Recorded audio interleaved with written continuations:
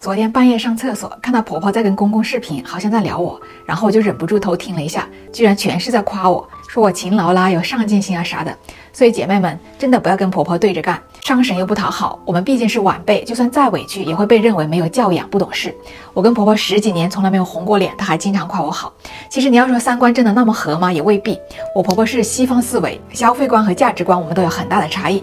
但是我的观念就是，婆婆她就是我们的一个资源，你怎么把这个资源用好，让她心甘情愿给你出钱又出力。上次呢，我婆婆说要回来住一年，我也知道只要我在家，她也不会帮我看小孩。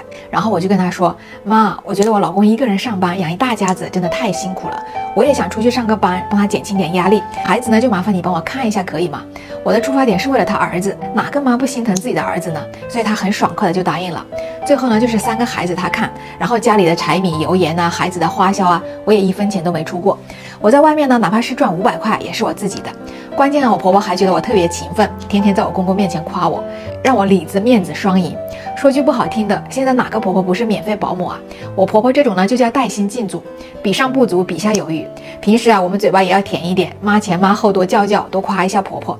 有一次呢，我婆婆做了猪手，我吃了之后就说：“哇，妈你也做的太好吃了吧，都可以去开餐厅了。”她那个脸呢，笑得就像一朵花。还有段时间呢，我掉头发很厉害嘛，她就给我用那个黑豆啊、何首乌啊煲汤。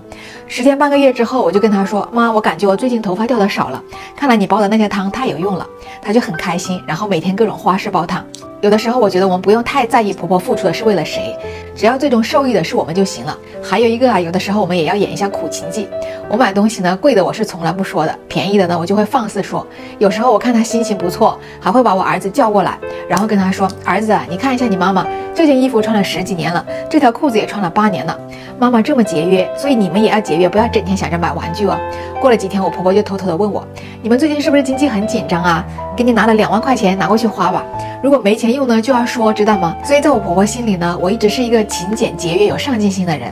她大钱没有，但是小钱不断。我见过一个说法呢，就是要把婆婆当成你的班主任，永远怀有一些敬畏之心。我们吵架和抱怨是没有用的，吵架和抱怨除了让大家越走越远，解决不了任何问题。我们要想办法让婆婆心甘情愿给我们出钱又出力。语言呢是最廉价的，但是也可以很值钱。最吃亏的就是那种嘴硬心软的女人。其实我们再怎么跟婆婆吵架，将来她老了，我们孩子是得服侍她。所以啊，我们都要学会做一个聪明的女人。毕竟啊，家和才能万事兴啊。